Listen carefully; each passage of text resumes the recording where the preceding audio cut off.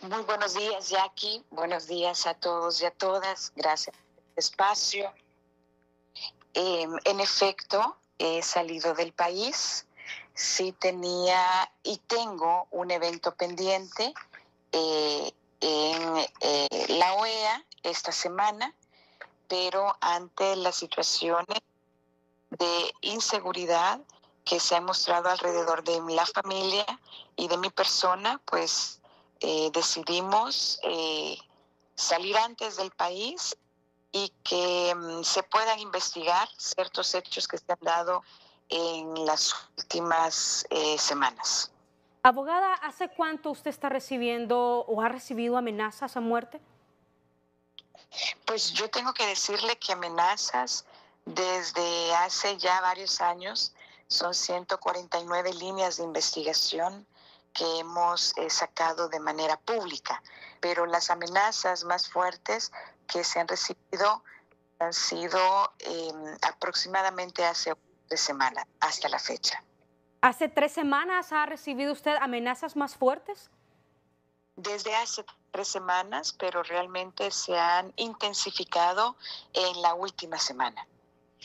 ¿De dónde cree que vengan estas amenazas, abogada?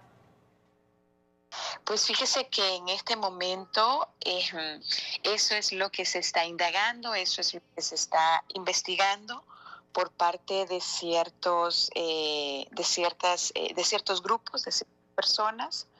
Mencionarles que hace unos días interpusimos una denuncia ante el Comisionado Nacional de los Derechos Humanos, la cual fue admitida y que también se va a investigar, se va a proceder, se va a aplicar el protocolo. Abogada, por su trabajo duro en el Consejo Nacional Anticorrupción, ¿qué va a pasar? Eh, ¿Va a dejar el CNA? ¿Qué va a pasar con, con la abogada Gabriela Castellanos? Eh, estamos trabajando. De hecho, he dado una pausa en este momento para poder atenderles con mucho gusto y poder este, mencionarles sobre este tema, pero seguimos trabajando. Eh, hay un equipo de SEA muy bien construido, consolidado, que está ocupando como día a día del trabajo y bueno, eh, espero que sean un par de días fuera del país y luego retornar para seguir en mis labores.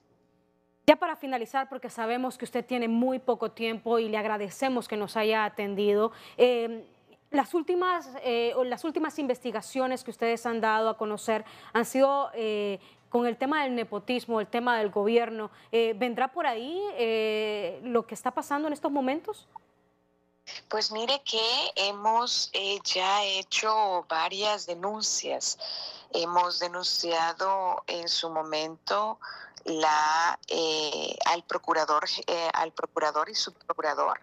Luego entregamos a la ciudadanía el informe de concentración del poder, en donde establecemos que uno de los elementos fuertes de concentración de poder es el nepotismo, como usted muy bien lo señala, Jackie. Asimismo, también hicimos una fuerte denuncia con el tema de la tasa de seguridad, en donde señalamos a 13 eh, tanto funcionarios y exfuncionarios eh, de, que, que, formaban parte en el, del Consejo de Ministros y así también una denuncia en contra del actual eh, director del OAVI. Hay mucho por hacer y seguimos trabajando y seguimos investigando. Así que, en efecto, eh, creo que hay muchas personas que no han podido tolerar la verdad de CNA, en donde cada una de las palabras está respaldado y entregado al Ministerio Público. ¿Ya se han comunicado usted con usted eh, la Policía Nacional, el Ministerio Público?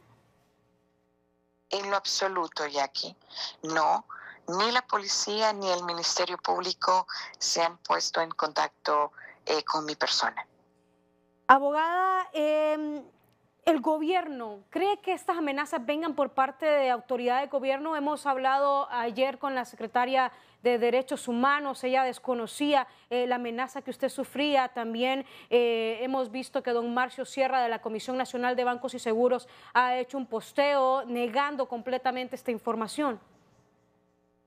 Al señor Marcio Sierra lo, lo encontré en el aeropuerto de Palmerola nos saludamos y en efecto le mencioné que eh, pues eh, tenía una participación en la OEA desde el diálogo de los jefes de delegación del secretario general, del secretario general adjunto, los representantes de sociedad civil.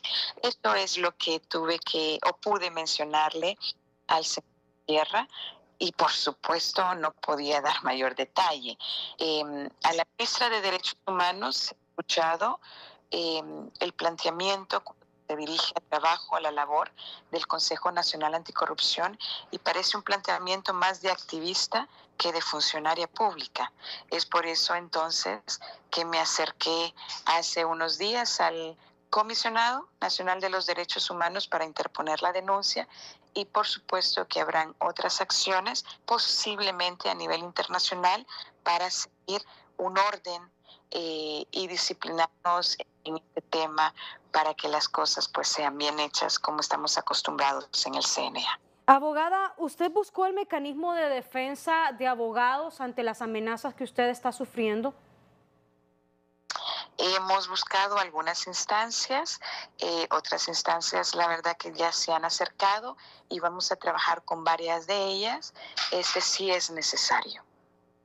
Abogada, desde aquí eh, hemos visto el respaldo que usted tiene, hemos visto cómo eh, han eh, puesto público tanto la representante de la Organización de las Naciones Unidas, Alice Shackelford, como la propia embajadora de los Estados Unidos en Honduras, Laura Dogu. Usted tiene el respaldo de la comunidad internacional y del pueblo hondureño agradecida con ese respaldo de la comunidad internacional, que ha sido un respaldo que hemos recibido desde ya hace varios años, en donde estamos siempre en constante conversación y análisis de lo que ocurre en el país y sobre el trabajo del CNA. Pero más allá que ese respaldo internacional, sin duda nuestra fuerza nace de la población hondureña de los medios de comunicación como ustedes, que siempre están en la búsqueda de la verdad y esa verdad que sea objetiva. Eso es lo que nos mueve. Nos mueve ese, ese 70% de la población que vive en pobreza y en extrema pobreza, que no existen em, las eh, cualidades necesarias para que se pueda desarrollar un país sano eso es lo que nos mueve, tanta corrupción que vemos a diario. Así que seguiremos en esta labor, eh, Jackie, seguiremos trabajando em, y bueno, esperamos siempre ese acompañamiento que sin duda es importante para nosotros. Y lo va a tener desde aquí, desde los medios de comunicación. Y, le tengo que preguntar, eh, ¿Estados Unidos ha ofrecido investigar qué tipo de amenazas usted recibió? Estados Unidos por medio de em, los programas que trabajamos, eh, pues nos han ofrecido siempre permanente, la permanente colaboración, el apoyo eh, en todo sentido. Así que sí nos sentimos acompañados, acompañadas desde CNA y bueno, pues eso nos da la fuerza de seguir adelante. Abogada, gracias por su tiempo. Sabemos que no, no tiene mucho tiempo, pero nosotros queremos agradecerle desde este espacio. Eh, ya para finalizar, ¿qué quiere decirle usted a esas personas que están haciéndole esas amenazas? Pues que en este momento nosotros estamos tomando todas las acciones pertinentes, ¿verdad? En base a las sugerencias de un grupo de seguridad, pero que vamos a regresar al país, que vamos a seguir haciendo nuestra labor de manera responsable, que ese acompañamiento es el que nos impulsa eh, de la población hondureña y que, bueno, que confíen en la labor de CNA la única búsqueda que tenemos es de la verdad y por supuesto de la justicia, de esa justicia que nosotros podemos tener en nuestras manos. Así que muchísimas gracias a usted, Jackie. Gracias, Creo que también le acompaña Claudia. La saludo igual.